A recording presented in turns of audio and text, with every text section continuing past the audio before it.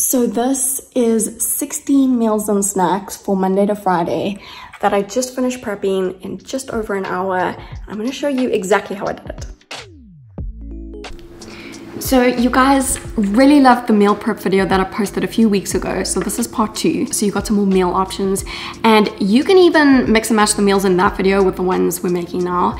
But what makes this meal prep kind of special is that it's high protein. It's ideal for losing or maintaining weight. I will show you how to customize the calories to get anywhere from 1,200 to 1,800 calories. And I've simplified this whole thing a lot to make it much easier to get it done in an hour.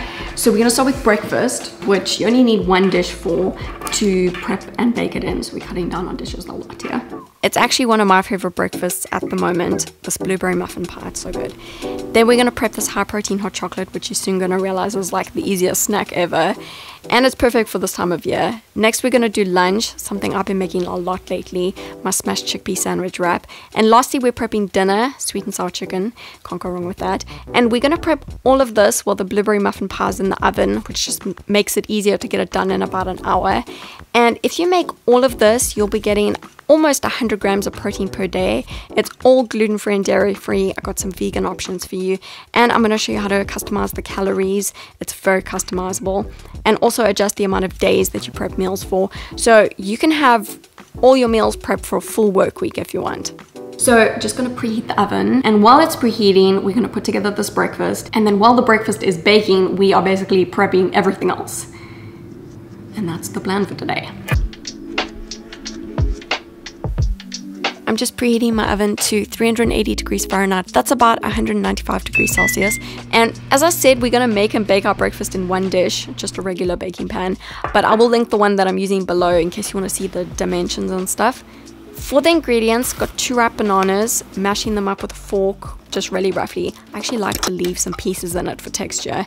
Then cracking one egg in and mixing it in with the banana.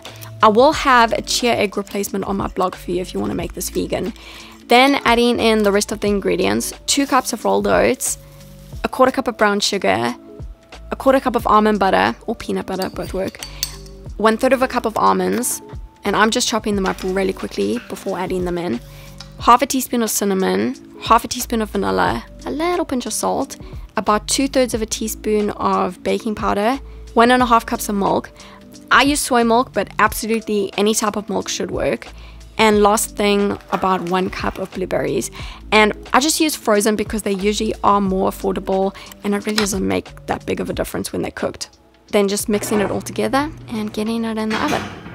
Just wait until you see what it looks like when it comes out.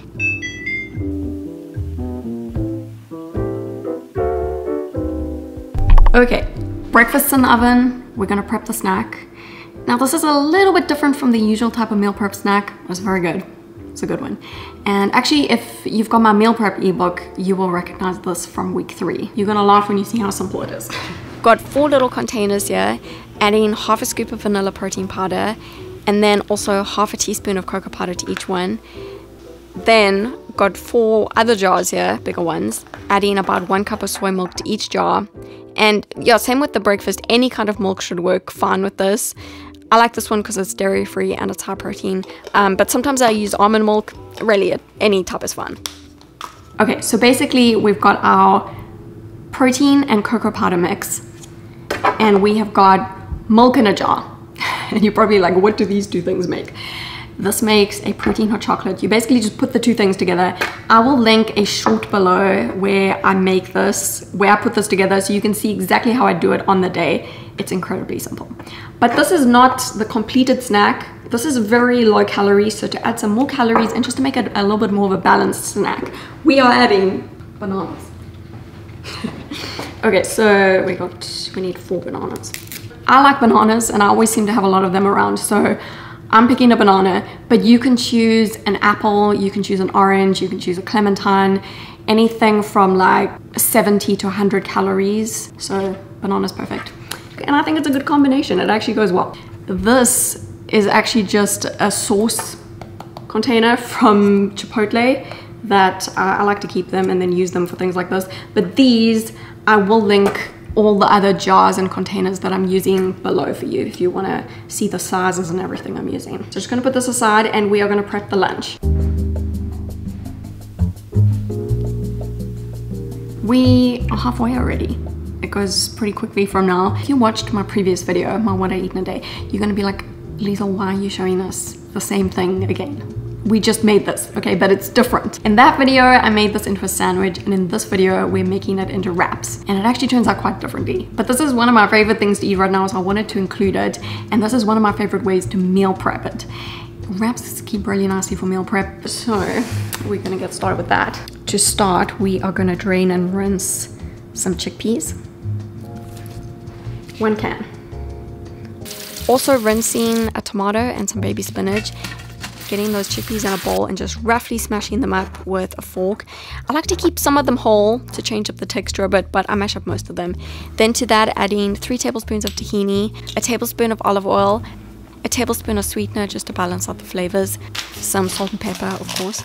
Then adding the juice from about one lime and using three pickles, my secret ingredient, to get that sweet and sour, tangy kind of flavor. Just chopping them up really roughly. And now you can use like a quarter of a regular onion here if you want, but I like to use spring onion, just a few pieces.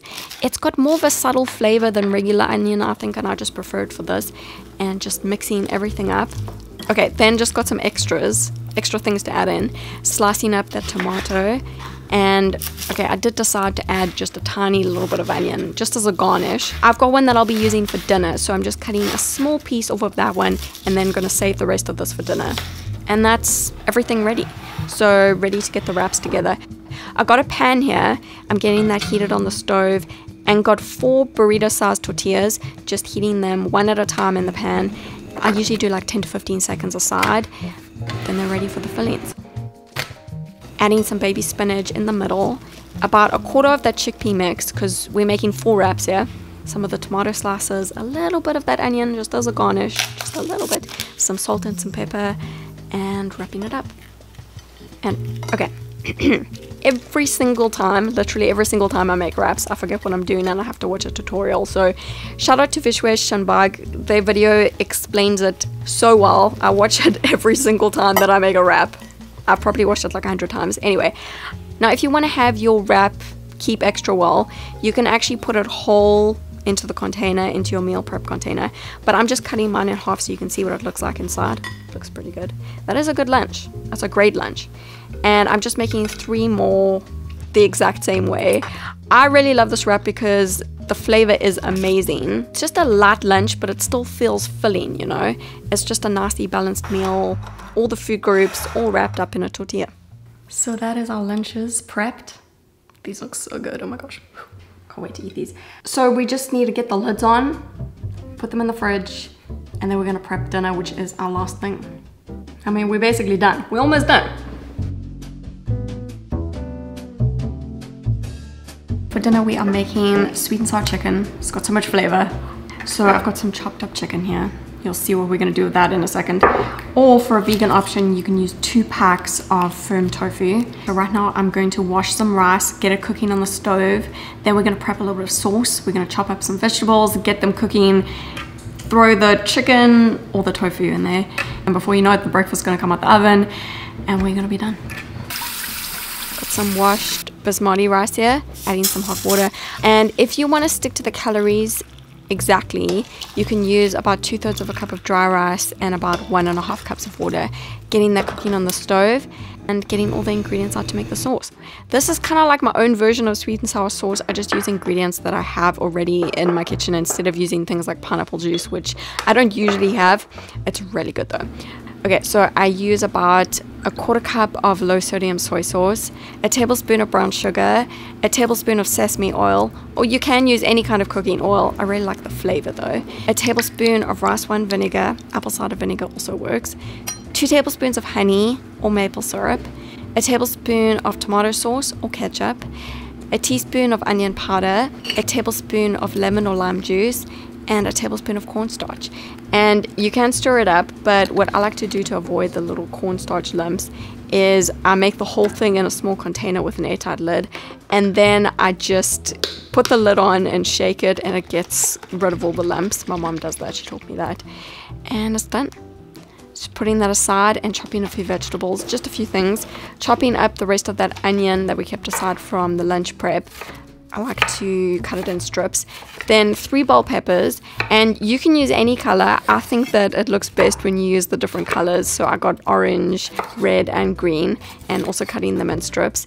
And some spring onion, of course, which I've got left over from the lunch prep anyway, so might as well just throw it in when I prep for the week like this, I try to use the same ingredients in different ways so that I end up buying less things at the store and that nothing goes to waste. And that's all the chopping done. So now for the fun part, getting it cooking. I'm heating a pan on the stove with a quick spray of oil and adding in the chopped onion. I like to cook it first to get it a bit caramelized. That adds a lot of flavor. It's just a few minutes. And then add the bell peppers in. They cook very quickly. Try not to overcook them. Sometimes I add a small amount of water in so that it doesn't burn. And yeah, those are mostly done. So just putting them aside in a bowl. You'll see why in a second. Getting that pan back on the stove, spraying a little bit more oil in, and getting the chicken pieces in. It's about 700 grams of chicken breast meat, or you can use two packs of firm tofu instead. I will have instructions on my blog for that for a vegan option, but it's basically the same.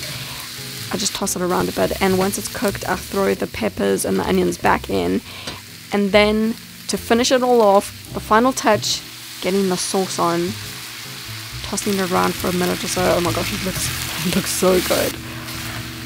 Okay, so we're running a little bit behind with dinner, but it's okay, we're almost done. Breakfast is almost ready though, there's just over a minute left, so I need to get that out of the oven. And there's a huge storm that's broken out, so it's getting kind of dark in here, but it's okay. I've got a big light setup so we will be fine. So just gonna get the breakfast out, finish the dinner, and then we're done. So that is looking good. It's done. Told you it was gonna look good. So just gonna let this cool down a little bit while I finish up the dinner, and then we're gonna cut this up and serve it out. Okay, so back to dinner. Getting the containers out to serve our prep in. And the rice is ready. It just takes 15 minutes or so. So serving that out between 4 and the main event, the sweet and sour chicken. If you try this, let me know what you think. I absolutely love it. I used to cook this a lot growing up, and it makes a really nice sized portion. It's quite a lot, so that's nice. And just finally adding a few little things on top, just some of that spring onion, some sesame seeds, it looks cute, and some salt and pepper. And this is definitely something that I look forward to eating when I know it's prepped and ready and waiting for me in the fridge. I mean, just look at that. That is a good looking dinner. Getting the lids on and back to breakfast again. It's the last thing to do. I just cut around the edges and then into four pieces and it comes out really nicely. And this is actually called baked oatmeal. Um, but when I made it for Rob for the first time, he called it muffin pie, and I just thought it was really cute. So the name kind of stuck with me. Uh, so I call it blueberry muffin pie.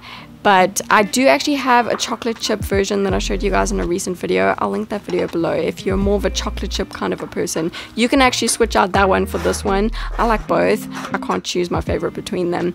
But this blueberry one is actually Rob's favorite one. And just like that, we are done with the final thing. We are finished. We did it. We did it again. So I've decided with this video that I'm gonna show you how to heat up and eat these meals in shorts. So I'm gonna have those shorts linked below. You can see how I make the protein hot chocolate, how I put that together, how I heat up the dinner, how I heat up the breakfast, you know, all that kind of stuff. I'm also gonna have the ingredients for everything on my blog for you for four or five days of prep. So you can either prep for four days like I did, or you can add an extra day if you wanna do a full work week. Those ingredients will be listed on my blog as well as a grocery shopping list to go along the with the week so you know what to buy. Um, that'll be on my blog link below. And I, I thought I'd just mention again, you guys seem to like it when I mention it in my videos about my point system. I know a lot of you use my point system. So all the main meals in this meal prep plan, the breakfast, the lunch and the dinner are all roughly four points with my point system or roughly 400 calories. And then all the snacks are roughly 200 calories or two points. And if you don't know what I'm talking about, my point system, I will link a video about that below. Um, and yeah, I promised that I would show you how to customize this meal prep plan. So I'm gonna do that right now. Uh, it's very, very easy. It's nothing complicated, super simple. So I'm gonna show you how to do that. And I hope that you enjoyed this video. I hope that you found it helpful. I hope you enjoy the meals. These are such good meals. I love them so much. So I really hope you enjoy them. And I'll see you in my next video. Okay, so how to customize the calories to get anywhere from 1200 to 1800 per day. As I said, all the meals are roughly 400 calories and all the snacks are roughly 200 calories. And this is what makes it really easy to customize the whole thing. So for 1200 calories, you can have the breakfast, the lunch, and the dinner, and then just leave out the snacks. For 1400 calories, you can have the breakfast, the lunch, the dinner, the snack, exactly how I prepped it. For 1600 calories, you're gonna do the breakfast, the lunch, the dinner, the snack, and then just add any other 200 calorie snack per day. So that's like a snack bar or a slice of toast with a tablespoon of peanut butter on top.